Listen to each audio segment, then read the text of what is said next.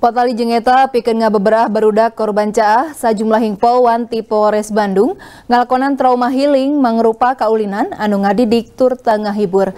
Lianti pikeun ngahibur trauma healing dilakonan sangkan barudak korban caah bisa sahelaan poho karena musibah anu keur memejehna karandapan di sabudereunana. Pikeun mere rasa sumanget tur ngusir ka kesel sajumlahing polwan anu geus dilatih khusus pikeun ngalakonan trauma healing dikeprakeun ka pangungsian pikeun ngahibur barudak korban caah. Eta kegiatan teh mangrupa edukasi sarta kaulinan sorangan-sorangan turta tim anu dipikaresep turta ngadidik. Eta barudak korban caah teh tembong sarumanget turta hegar marahmai salila ngalakonan kegiatan trauma healing anu dikokolakeun ku para polwan.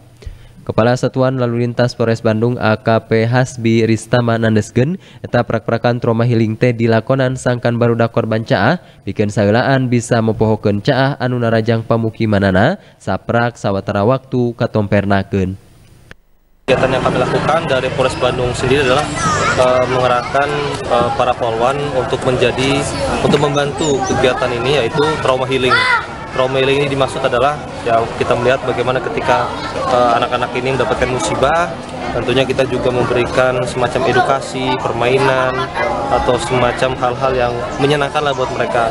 Selama ini kan mereka berada di tempat umum ini juga merasakan kejenuhan di data kegiatan trauma healing teh Kepala Korps Bin Mas Mabespori ngaliwatan Polres Bandung secara simbolis masrahkan bantuan pangan turta sejumlah obat pikeun para korban caah.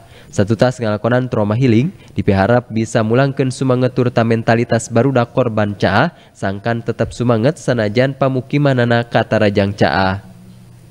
Rezi Tiap Prasaja, Bandung TV